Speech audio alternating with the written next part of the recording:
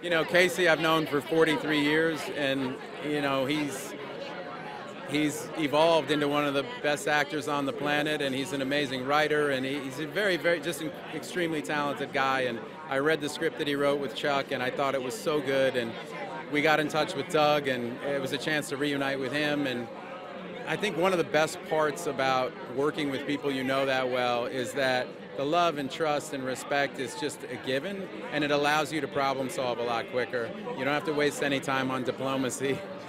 if you don't like somebody's idea, you just come out and say it, and it's kind of you get to an answer a lot quicker. Like we've developed a whole vocabulary in this business about how to tread around people's egos, and if you just abandon your ego at the door and just go, and you know that all of that stuff is is kind of beyond reproach. It, it's not on the table. It's just about the problem in front of us, and you just attack it together. You get to a solution a lot quicker, and, and that's why it's really fun. We're, we're pretty blunt with each other, creatively speaking, um, but we, we know that there's a deep love and abiding respect that underlies all of that. It was a lot of writing and rewriting and pre-production and a lot of discussion around the dynamic between the two characters and what the best way was to kind of approach that. And so that was really the preparation was a little more analytical on this one. I mean in terms of the nuts and bolts of it it's a guy from boston you know that's where i grew up it's somebody i know very well. Uh, he's a blue collar guy in a desperate situation. And so a lot of that was is kind of baked into my life experience and so uh, but in terms of you know most of the prep time was spent just lining everything up from a producerial standpoint and making sure we had the exact right story we wanted to tell when we shot it. Well, Doug always, like, even on The Bourne Identity, uh, he, he, always leads with the character and the plot follows the character, and that's the same with the action. So rather than the movie stopping to just show pretty explosions or car crashes or something like that. It's always about how are the characters developing inside the action. And so he's more concerned with the conversation inside the car than the car crashes that are happening all around it. Those are, you know, those, those are just a piece of what you're, of, you know, of what you're seeing. What, you, what you're really focusing on is the character development inside the car. And he does that in all of his movies. It's just a philosophical approach to action, and it's why the action in his movies always works. We have the greatest stunt guys in the world and the best second unit director in the world and an amazing team. And so, no, I, I, I pump those guys up.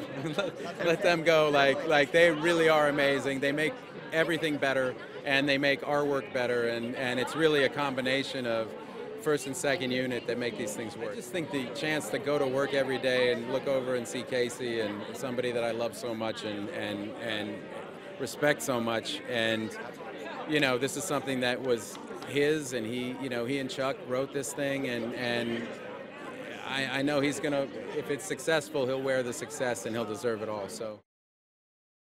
The only person I had worked with on this movie before was Matt. Um, but, you know, he's one of the best actors working. He's uh, known him for 40 years. I love him to death. Uh, it was nothing but um, but a pleasure. I got to tell you, standing on that set every day, you know, I've been in this for acting for 38 years, and uh, but when I was there in Boston, um, working with Doug Liman, with Matt, doing what I love to do in the city that I love.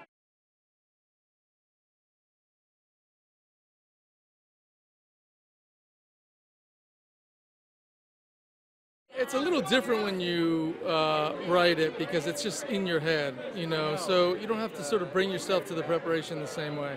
Um, you know, I feel like I knew this character, and I all I had to do really was make sure that Matt was going to be any good. You know, you know, having done The Bourne Identity, The Edge of Tomorrow, Mr. and Mrs. Smith, Go, uh, it's just so many movies where he's had to juggle um, action and comedy and character. I think it's for him. It's really just about trying to find new ways to do it, to improve on it. But he's never, I don't think, worried that uh, he doesn't know how to do it. Uh, he made it look like effortless almost, um, and it's it's hard to do. So he's one of the best, and we are lucky to have him. You know, a lot of the action was done, I have to say, by stuntmen, um, and then we, you know, they crash the cars up and drive around the city and drive them off roofs and stuff, and then we get into a car that's stationary and it's surrounded by a green screen, and Doug makes it all look like it's you know uh, it's seamless and happening for real. So we did a lot of sitting in cars and just being like thrown, going left, right, look left, look right, and then it works. I worked with Matt on downsizing back in 2016 or 17. Uh, So it's been a few years, but not as long as it took for Matt and Doug to be reunited, which was 20 years in between uh, the Bourne Identity and, and now the Instigators. So I feel really lucky and fortunate. It's really hard to ask people if I can sit in on their therapy sessions. Uh, and I've never been to therapy myself, so I had to use my imagination a little bit and also just tried to play the scenes truthfully for what they were.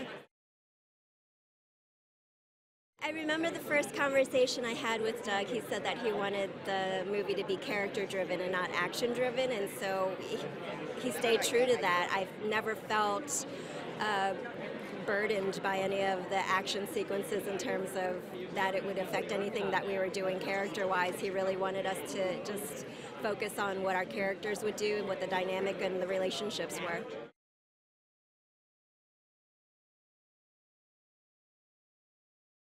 I think I'm more laid back than him, so it was a nice reach. You know, the first movie I did, I felt like I was kind of playing me. This is like the first time I played a character for real, so just kind of in awe, taking notes and absorbing, trying to stay humble and see what I can learn. It's hard to do, so there's a reason they're who they are, you know. it's magical to, to go back to work with Matt. You know, it was a little scary, you know, right at the beginning because well, last time we worked together, Bourne Identity launched a you know a billion dollar franchise. So you're like, and a great friendship, a lifelong friendship. There's a lot on the line. We could mess up the friendship. We could mess up, you know, you know, maybe it's sort of terrifying. So it was so amazing right from day one of working together. It was like we were back 20 years ago making Bourne Identity. Like like no time had passed, and uh, and the thing is, you know, we Matt and I really made Bourne Identity like an independent movie. It was a studio, but at the end of the day, we're in France. It was like an eight-hour time difference to LA. So like, we just were like on our own making the movie and making decisions for ourselves. And and here we are all these years later, basically doing the same thing with Instigators, because now Matt is the studio. There's no time difference really anymore to work with, but. So it really was a, it was so fantastic, and then getting to meet Casey, you know, was like, what a, what a dis, what a discovery for me as, as a director. I mean, I'm just, I'm in love with all of the choices he makes as an actor, and, and how much he gives to the to, to the directors he works with, or at least that he gave to me. You know, it's terrifying. You know, having you know basically redefined car chases with Bourne Identity. Matt and I are now doing another car chase. You know, how do we live up to what we did before? But what I love about the Instigators script is that we had this really unbelievable dynamic in the car during the chase because Matt's got suicidal tendencies. Casey Affleck's discovering that. Their therapist Hong Chau is in the car trying to coax Matt into slowing down.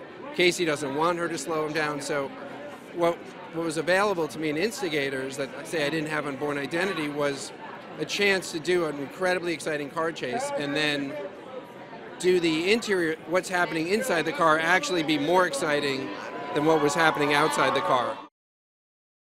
Occupied. Okay. It, it happens during the uh, at one of the more tense moments in the movie when, when there was something Matt improvised, and you know people.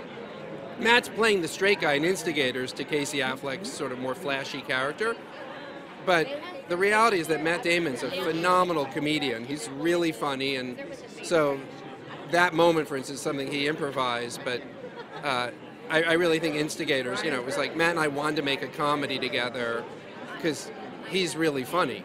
One of my favorite memories was there was a moment where Matt said something to me, you know, in between takes, and it's a technical thing, but I looked at him and I said, "Oh my God!" And there he is, Matt, right over there. He he's grown so much since we worked together 20 years ago. Because you don't really know, maybe we're we stay the same. I was like, he has really matured as a human being, as an actor, as somebody who can support the directors he works with. and I was just looked at him and I was like, wow, he, he's just grown so much in those 20 years. And then I was thinking to myself, well, maybe he's thinking that about me. Because you don't really know. You're in your own body. You don't know if you've grown. And so I sort of hung on to that for the rest of Instigators as like thinking maybe that I have matured in those 20 years. So I've actually had a partnership with Doug for 10 years. Um, so we work together on a lot of movies and we've had a lot of fun together. And I can honestly say the instigators surpassed everything for me that we've done together because the combination of this team, like Matt and Casey, Kevin Walsh, the other producers, everybody that we did this together with just made it so much fun, so easy. I mean, you know, there's always difficulties, everything always has challenges, but doing it with a group of people that you're having that much fun with and doing it with people like Apple and Artist Equity supporting you, it's it's it was a lot of you start with Matt Damon and Casey Affleck and you're like, yeah, we're good. Like that's that's a great mm-hmm. movie. And then you add Hong Chau into that who plays such an amazing like straight person to their kind of crazy characters and just brought this really like special extra thing. And then on top of that, you add Michael Stuhlbarg and Fred Molina, and you add Toby Jones, and you add Ron Perlman, and you add Paul Walter Hauser, and you add Jack Harlow, and you just end up with this like insane cast of people, like insane cast of people. Every single one of them brought something to their characters that was different than everyone else.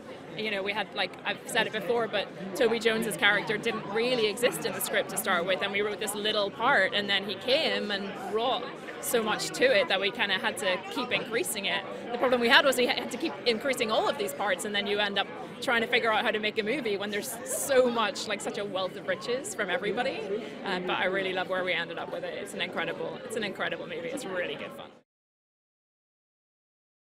Doug Liman is just a true original. You know, that's all I can say about him. He's never repeated himself.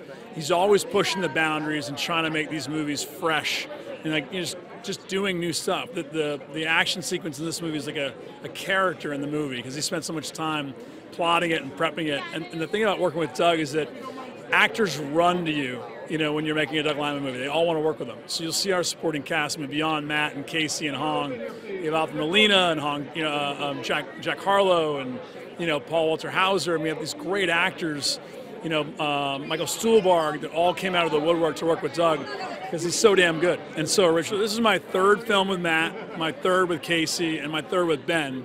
Um, Casey and I and Matt uh, did Manchester by the Sea together. I did a film called Our Friend with Casey, and then Matt and I and Ben did The Last Duel. I actually worked on a film Ben did years ago called Changing Lanes as an assistant. So they're all just super talented, you know, focused professional guys. And, you know, with Matt and Casey, they're different actors, but they're both exceptional actors. And the thing about them is they, they have a shorthand together and they can finish other's sentences in a way. And they, they have a really great comedic kind of balance with each other, and and that that drove the movie. That that, that chemistry and that relationship really drove the film. You can't manufacture that, and I think it, it has to come from a real relationship. And with Casey writing it and Matt kind of helping with some of the writing and going through it, they knew this these characters inside and out. So you you find yourself at the end of the film wanting more. You want to spend more time with these guys.